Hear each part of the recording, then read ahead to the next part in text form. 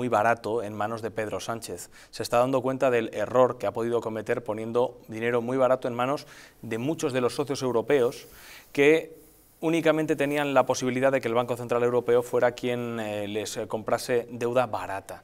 tiene un problema España a partir de ahora, porque el Banco Central Europeo ha anunciado esta misma semana que va a aumentar los tipos de interés un cuarto de punto, ha dicho que si la inflación continúa estando muy alta en el mes de septiembre, va a volver a hacer lo mismo, de manera que vamos a empezar a sufrir mucho. Nosotros, los ciudadanos, por supuesto también, porque cuando el Banco Central Europeo coge y te sube los tipos de interés, evidentemente todo esto se transmite tarde o temprano, yo creo que va a ser un poco más temprano que tarde, a la economía doméstica, que ya está lo suficientemente dañada, y va a llegar un momento en el que España, y ojo, España tiene un serio problema de deuda, no porque tenga un 117% del Producto Interior Bruto comprometido, es decir, de todo lo que trabaja eh, en un año, va a tener que, mm, vamos, es que todo lo que produce España en un año lo debe, en un año más un 17% más, que podemos decir que es el primer mes y pico más. O sea, en 13 meses todo lo que produce España lo tiene que, es, justo lo que debe.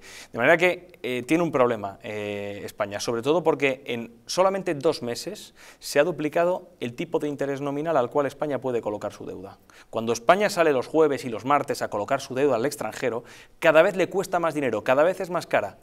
Y cada vez esos tipos de interés hay que pagarlos. ¿Cuánto paga España anualmente a través de intereses como consecuencia de la deuda 30.000 millones de euros. Ese es un dinero que no es que no tengamos, porque no lo tenemos.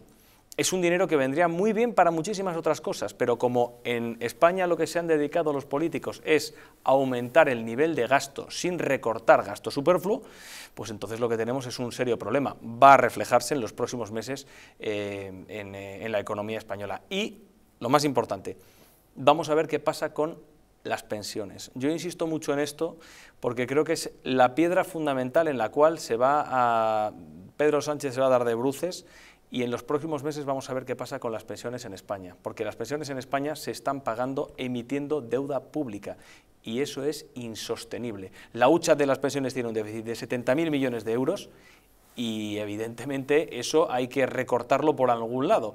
El gobierno piensa que haciéndolo o recortarlo, haciéndonos a los trabajadores trabajar muchísimo más o midiendo la cotización o haciendo el cálculo total de la pensión con los 25 últimos años de vida, se va a solucionar, pero es que el problema es mucho más profundo, el problema es estructural.